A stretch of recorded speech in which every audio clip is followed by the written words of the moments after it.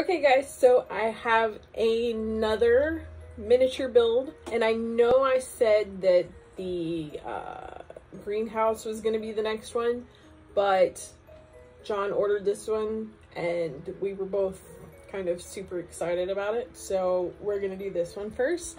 This one is Nancy's Bake Shop. So I'm really excited to start this one. It is so cute. I mean, excuse my like window lighting in the background, but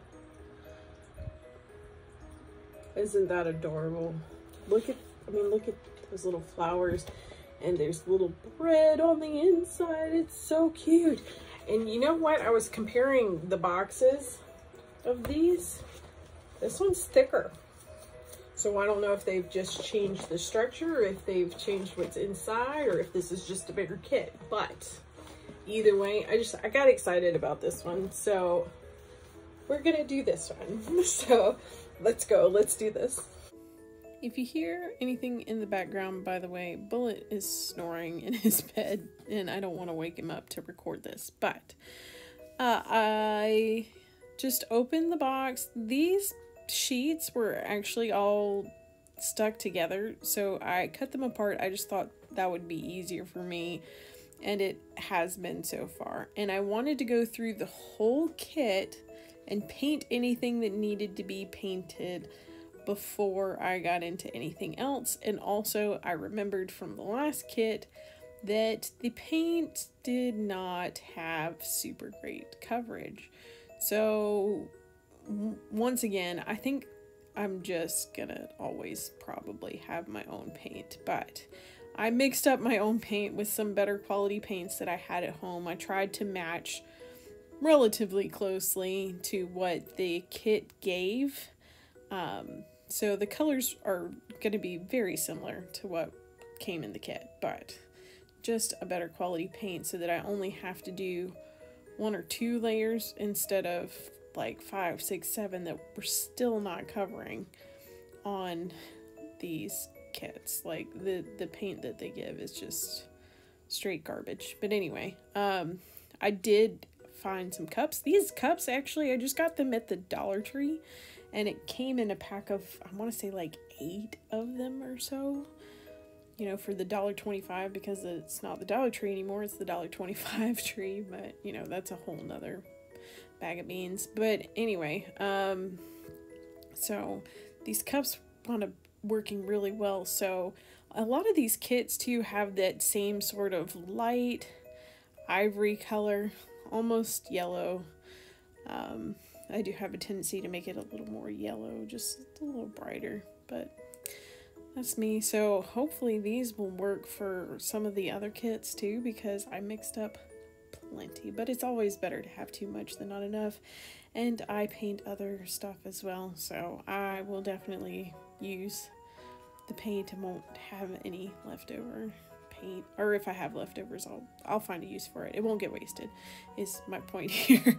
but um yeah, so I wanted to go ahead and pre-paint everything so that because that to me is one of the most tedious parts and this kit in particular had a whole lot that was not painted so i mean typically all of the walls and stuff and well in the last kit that i didn't, all the walls had to be painted as well but and you can see here i tried with these smaller ones because they gave you this whole set of smaller ones. I thought maybe those would be better. I think those might have actually been worse than the last kit that I had. Those those tiny little pots were, were it's just bad. It's just bad paint.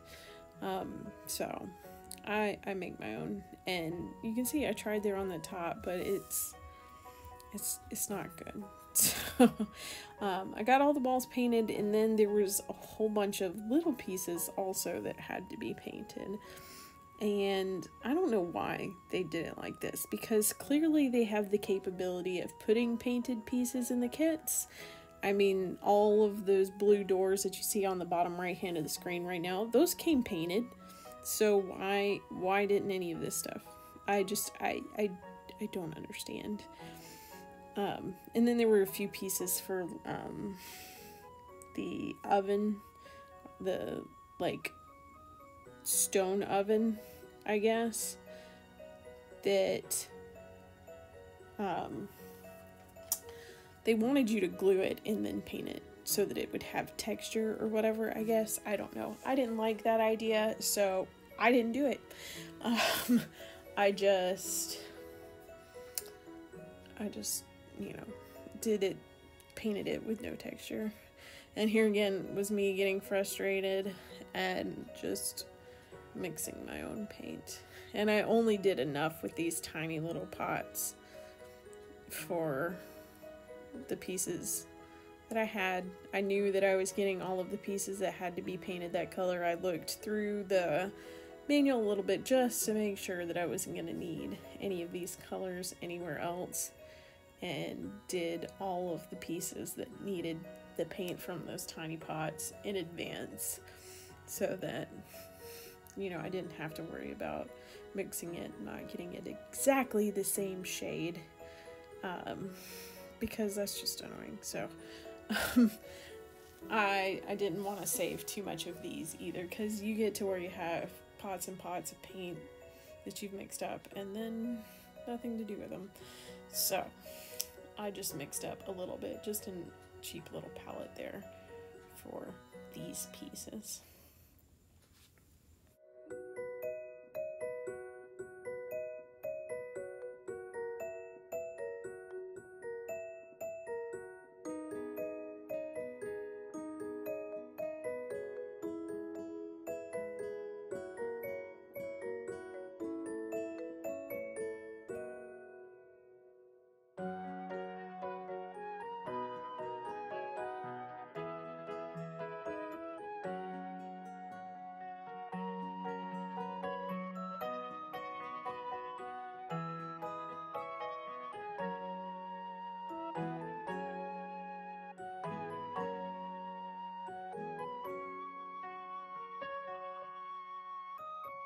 うん。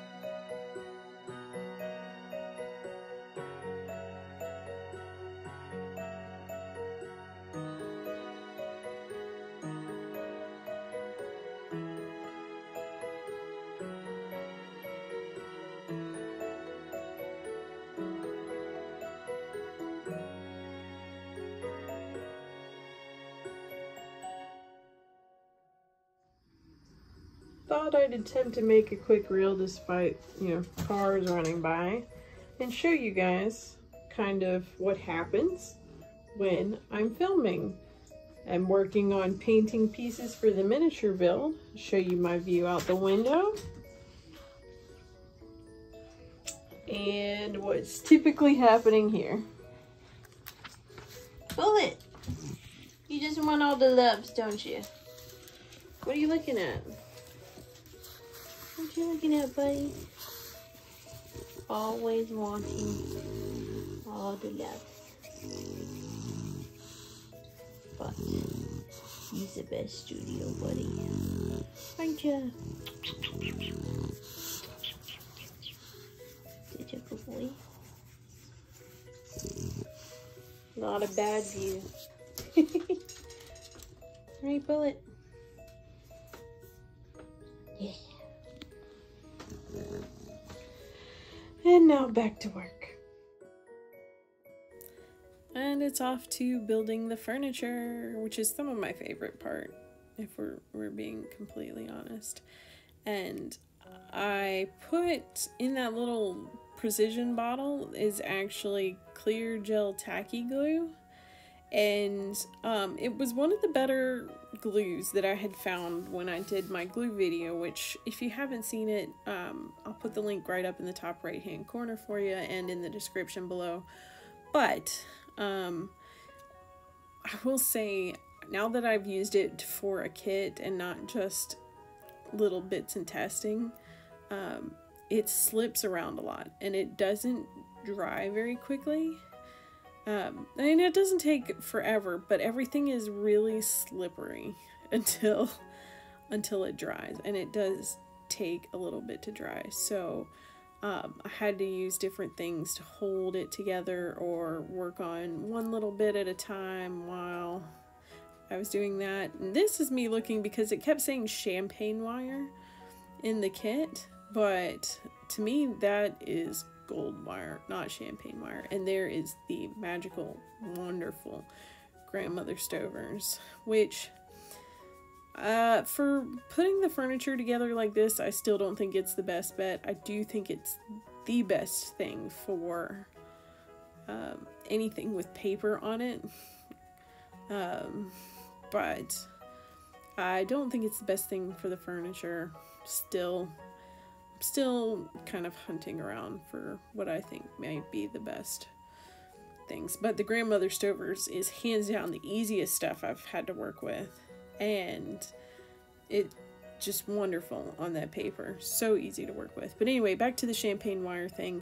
That to me is gold wire, not champagne wire. So I went through the entire book making sure that they were talking about the, what I would consider to be gold wire just to make sure that there wasn't something missing or anything like that. But no, it's just, it's gold wire, but the book described it as champagne. So there it is. Um, and that's what it was supposed to be.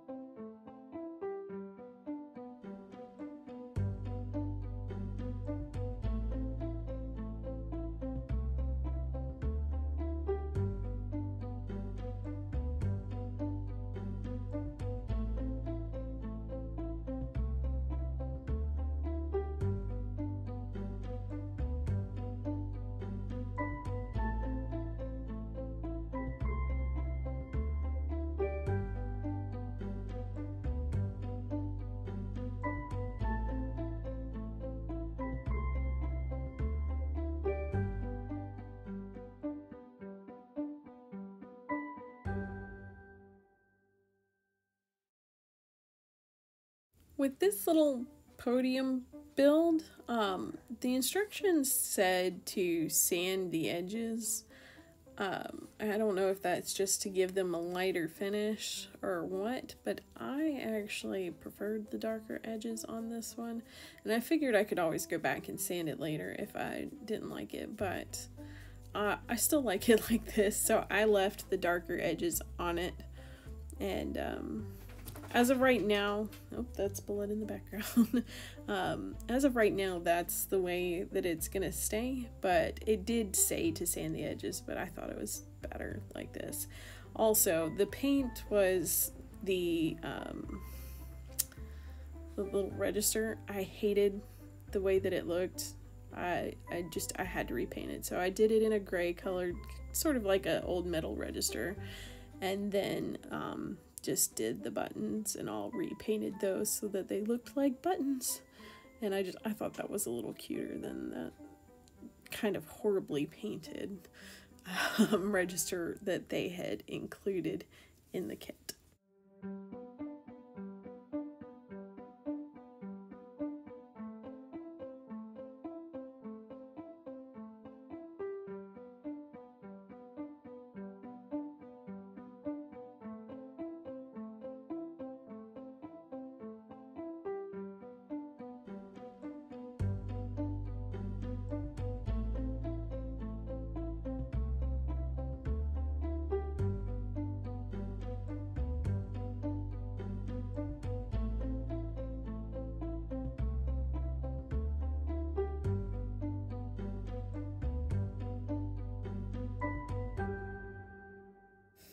This aluminum tape, y'all. I can't decide whether it's one of the best things that I've worked with in these kits or one of the worst. So for like for like this, this is not too bad because uh, you just cutting it into strips and then taping it around and it sticks to the wood and it's just meant to be a surface so that the wood looks shiny. And for that purpose, I think it was great. Um, for some of the other things they use it in this kit for, and I'll talk about this later on when they come up, I don't think it was as great of a resource, but for this, I mean, it's absolutely fabulous because you just take the sticker off the back and wrap it around and all of a sudden you have a nice silver oven or stove or whatever it is where you call it whatever it's called where you're at but I, I call it a well if it's got stuff on the top it's a stove. This i would call an oven but uh, what would you call it? I don't i don't know. I'm curious but i liked the tin foil for this